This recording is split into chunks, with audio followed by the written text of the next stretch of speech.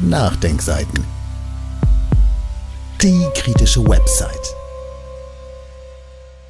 Alle reden vom neuen bunten Deutschland. War das alte Deutschland etwa grau? Ein Essay von Jens Berger. Dass mein Artikel zu den neuen Trikots der Nationalmannschaft einige Leute triggern würde, war vorauszusehen. Erstaunt war ich jedoch, dass sowohl viele Kritiker als auch viele Gratulanten den Text, wenn überhaupt, nur oberflächlich gelesen haben. Bei den Reaktionen war oft von einem neuen bunten Deutschland die Rede, das sich angeblich in den Trikots widerspiegele. Die Kritiker meines Artikels, meist aus dem linksliberalen Milieu, finden das ganz prima und sehen in mir nur einen reaktionären ewig gestrigen. Einige Gratulanten, oft aus dem rechtskonservativen Milieu, finden das ganz fürchterlich und lobten mich für den Widerstand, den ich dieser Entwicklung entgegensetze.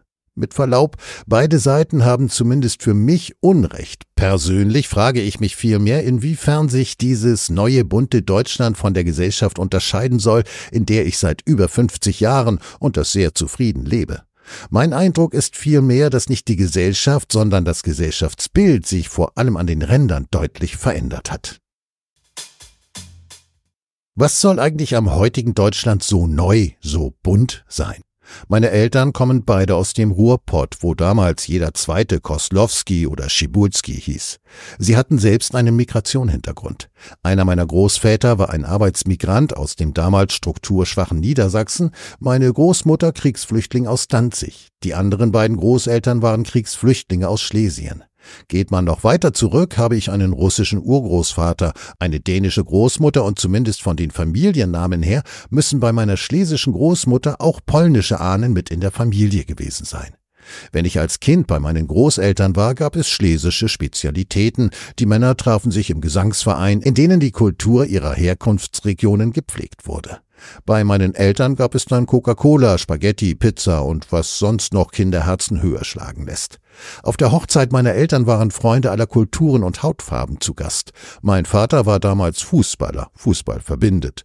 Heute würde man das wohl als Multikulti bezeichnen. Das Klischee Deutschland mit Gartenzwergen, Eisbein und Sauerkraut? Ich habe es nie erlebt. Als ich dann älter wurde und in die Schule ging, kamen meine Mitschüler und Freunde aus aller Herren Länder. Obwohl, das ist natürlich falsch formuliert. Ihre Eltern kamen aus aller Herren Länder, sie kamen aus unserer Kleinstadt. Meist hatten sie türkische, italienische oder jugoslawische Wurzeln. Ihre Eltern kamen als, wie man es damals noch nannte, Gastarbeiter ins Land. Für uns hat das keinen Unterschied gemacht. Im Fußballverein kamen sich auch die Eltern näher. Ich werde nie die leckeren Snacks vergessen, die die Mutter eines türkischen Freunds der ganzen Mannschaft immer bei Auswärtsspielen mit auf den Weg gab. Zusammen schauten wir uns dann auch auf die Spiele unserer Nationalmannschaft an. War das damals etwas Besonderes? Ach was. Wir waren in den 1980ern und da war das vollkommen normal. Natürlich war nicht alles Friede, Freude, Eierkuchen. So kann ich mich noch an einen grantelnden Rentner erinnern, der am Spielfeldrand über die Kümmeltürken schimpfte, der seiner Meinung nach ein schlechtes Spiel bot. Unser Trainer, ein Kriegsversehrter, den Granatsplitter das Gesicht verunstaltet hatten, jagte den rechten Schreihals vom Platz. Heute hätte man ihn für sein zivilgesellschaftliches Engagement ausgezeichnet. Damals war das normal. Wir waren bunt und vielfältig und wussten es noch nicht einmal. Als ich dann älter wurde, ersetzten andere Dinge, die man als junger Mann zwischen Kindheit und Erwachsenwerden so macht, den Fußball. Ich machte zusammen mit meinen Mitschülern mit multinationalen Wurzeln Abitur und ging dann zur Uni, wo die Mischung noch bunter war, ohne dass es für einen selbst eine Rolle spielte. Nun kamen auch die Geschlechterfragen, die heute offenbar so ungemein wichtig sind, hinzu. Wichtig waren die damals aber nicht. Der eine war hetero, der andere schwul, so war das halt, völlig normal. Man traf sich am Samstagabend in normalen Kneipen und Clubs, mal ging man zusammen in Gay-Clubs. Auch ich als blonde Hete, wie ich von einem schwulen Freund immer scherzhaft genannt wurde, ging gerne dorthin, weil die Musik ganz nach meinem Geschmack war und dort interessante Frauen waren, die gerne dorthin kamen, weil sie hier nicht dumm angemacht wurden. Im Alltagsleben spielte die sexuelle Orientierung aber keine Rolle. Es war vollkommen egal, ob man straight oder schwul war, und das galt nicht nur für das Uni-Umfeld. Zum engen Freundeskreis meiner Eltern gehörte seit Jahrzehnten ein lesbisches Pärchen. Ein Geschäftspartner meines Vaters hieß irgendwann nicht mehr Wolfgang, sondern Tanja. So what? Damals, wir hatten nun die 90er, krähte kein Hahn danach. Ja, es gab auch damals immer mehr Skinheads und Nazis. Das war aber für uns stets ein Randphänomen, das mit unserem Leben nichts zu tun hatte. Diese Nazis waren auch schon immer, sorry, scheiße im Kopf, aber wir, die wir uns als links oder linksliberal definierten, wären damals auch nie auf die Idee gekommen, unsere Gegenwart als neu, bunt oder multi irgendwas zu bezeichnen. Wir wären auch nie auf die Idee gekommen, uns über unsere sexuellen Vorlieben oder unsere Hautfarben zu definieren. Rückblickend war diese Zeit schon fast erschreckend normal. Doch auch heute hat sich für mich, zumindest gefühlt, nicht viel verändert. Der beste Freund meines Sohnes hat türkische Wurzeln, seine stets wechselnden Freundinnen kommen von allen Kontinenten, okay, bis auf Australien. Welche Hautfarbe mein irgendwann sicher kommendes Enkelkind haben wird, ist mir herzlich egal. Viele Freunde und Personen aus meinem beruflichen und privaten Umfeld sind schwul, und noch immer empfinde ich das nicht als neu oder bunt, es war zumindest in den letzten 50 Jahren ja immer so. Was jedoch tatsächlich neu ist, sind die elenden Debatten, die um diese Themen geführt werden. Und was nicht nur neu, sondern für mich auch erschreckend ist, ist die Art und Weise, wie immer mehr Menschen sich definieren. Früher definierten wir uns über unsere Gemeinsamkeiten. Wir spielten zusammen Fußball, waren in einer Klasse, auf einer Schule, hatten einen ähnlichen Musikgeschmack oder waren halt sonst auf einer Wellenlänge. Ob wir die gleiche sexuelle Orientierung, die gleiche Hautfarbe oder die gleiche Herkunft bis zu den Urahnen haben, war zweitrangig. Heute definiert man sich offenbar über Unterschiede. Identitätspolitik nennt sich das.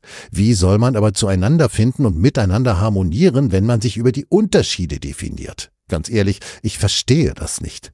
Das offenbar habe ich aber nicht ohne Grund geschrieben, denn ich weiß gar nicht, ob das in der Realität wirklich so ist oder ob dies nicht eher ein virtuelles Phänomen ist, das von Kulturkämpfen beider Seiten in den sozialen Netzwerken rauf und runter gedudelt und von den Medien gehypt wird. In meiner Generation und in meinem Umfeld hat sich zumindest nicht viel geändert. Und bei meinem heute in Berlin, also mitten im identitätspolitischen Mordor, lebenden Sohn auch nicht. Ja, wir befinden uns anscheinend in einem virtuellen Kulturkampf.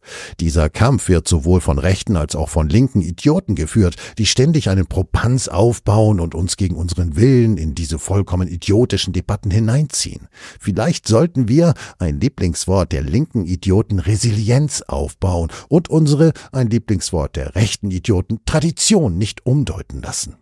Meine Tradition sind nicht die in Teilen sicher reaktionären 1950er, sondern die durchaus progressiven Zeiten ab Mitte der 1970er Jahre und ich will auch nicht in eine Zeit zurück, die ich selbst als älterer weißer Mann gar nicht mehr kenne und mit der ich auch nur sehr wenig anfangen kann. Ich will nicht in einer Welt leben, in der sich linksliberale Menschen über ihr Geschlecht und ihre Herkunft definieren und alle Andersdenkenden als rechte Hindlerweltler verunglimpfen. Ich will aber auch nicht in einer Welt leben, in der sich reaktionär-konservative Menschen über ihr Geschlecht und ihre Herkunft definieren und alle Andersdenkenden als woke Spinner verunglimpfen. Ich will in einer Welt leben, in der Geschlecht und Herkunft keine Rolle spielen, die sexuelle Orientierung Privatsache ist und in der man sich über Gemeinsamkeiten und nicht über Unterschiede definiert. Ist das eine Utopie? Ich glaube nicht, da der Großteil zumindest meines Lebens dieser Welt sehr nahe kam.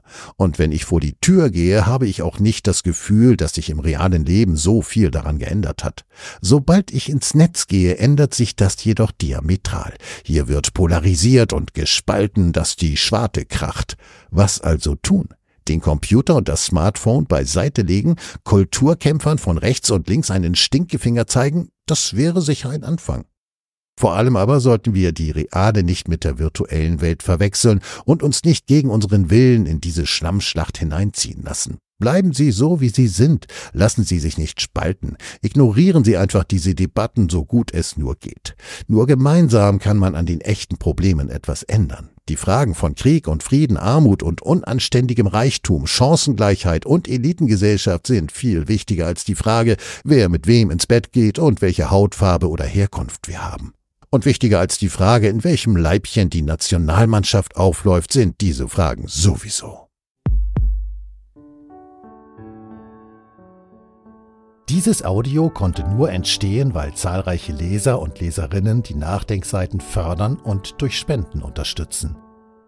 Wenn Sie auch etwas tun wollen, klicken Sie einfach den entsprechenden Button auf unserer Website an. Übrigens, Sie können uns auch bei iTunes, SoundCloud und YouTube hören und wenn Sie mögen, gerne unseren Kanal abonnieren und eine positive Bewertung für uns abgeben. Wir freuen uns über Ihre Unterstützung und die Weiterverbreitung unserer Inhalte.